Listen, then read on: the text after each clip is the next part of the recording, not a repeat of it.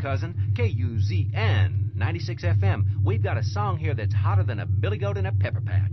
Start stomping with the Grasshoppers and their new hit, Ride 'em High.